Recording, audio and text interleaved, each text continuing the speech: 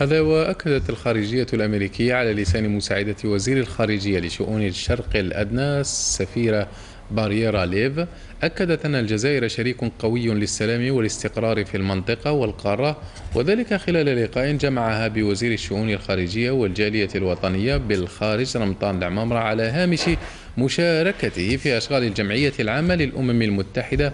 لمناقشة التعاون بين الولايات المتحدة الأمريكية والجزائر بشأن الاستقرار الإقليمي والسلام وقمة جامعة الدول العربية.